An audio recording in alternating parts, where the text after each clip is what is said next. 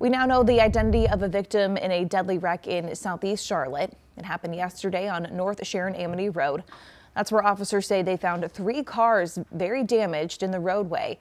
Medic confirms that 50 year old Daryl Wright, the driver of a Toyota, was pronounced dead at the scene.